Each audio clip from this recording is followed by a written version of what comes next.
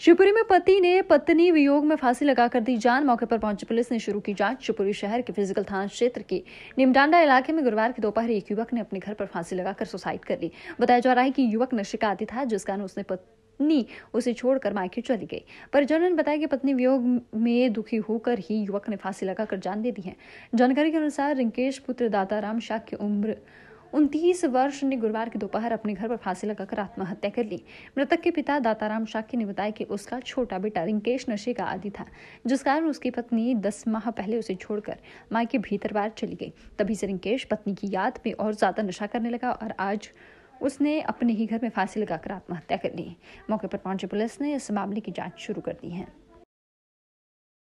नाम है दादा आपका? मेरा नाम दाता राम साहब जो जो खत्म हो गए वो कौन थे आपके? मेरा छोटा लड़का था। क्या नाम था इनका? रिंकेश साहब। कैसे फांसी लगा ली इनने? अब हम तो थे नहीं वो तो हम तो उधर थे दूसरे कमरे पर। अच्छा। हाँ।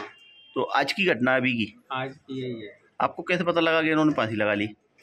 वो पड़ोस के बच्चे आए थे देखने। पड़ोस के बच्चे आए थे तो उन्होंने बताया।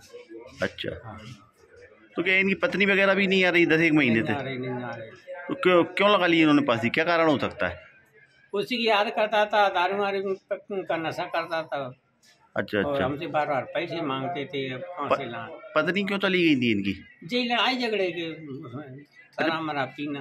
पहले भी शराब पीते थे क्या? हाँ वो तो बहुत पहले से पीते हैं।